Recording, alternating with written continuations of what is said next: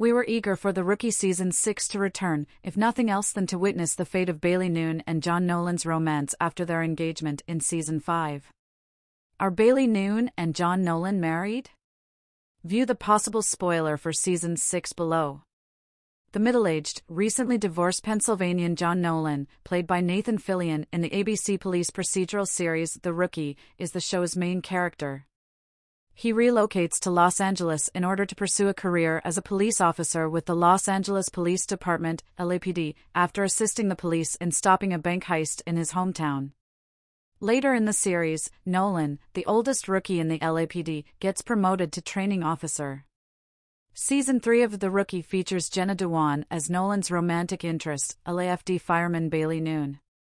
After making her first appearance as a recurring character in the second half of season 4, Nune made her big cast debut. Nolan and Nune initially met in the season 4 finale Threshold when Nune was locked out of the house watching John's neighbor's pets. This was the start of her and Nolan's more serious relationship. Together, they went to the wedding of Angela Lopez and Wesley Evers, but it was eventually called off so Nolan could save Lopez.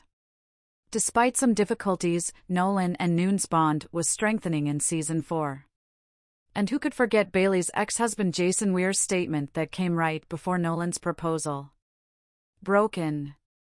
In the end, during season 5, Nune proposed to Nolan, but only after Rosalind Dyer, the notorious serial murderer, nearly killed her. Nolan said yes, and they became engaged in The Choice, the fifth episode of season 5. The couple's impending marriage has not revealed many details to the public.